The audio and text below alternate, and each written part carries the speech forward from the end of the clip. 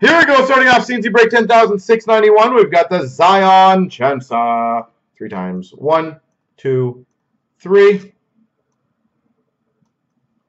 Copy. Paste. And the items here, one, two, and three.